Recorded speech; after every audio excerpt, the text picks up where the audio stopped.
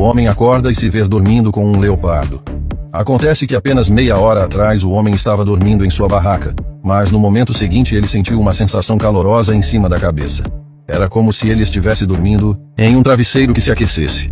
O homem estava prestes a se levantar para verificar, mas depois vira a cabeça e encontra o olho do leopardo. O homem estava com muito medo de se mover. Ele virou a cabeça e voltou a dormir. Felizmente, o leopardo ficou acordado até tarde da noite.